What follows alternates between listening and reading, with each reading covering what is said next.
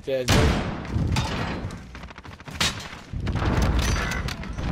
he's a big guy. Oh my, Ronnie, why'd you say you died like that? Alright, calm down, dude.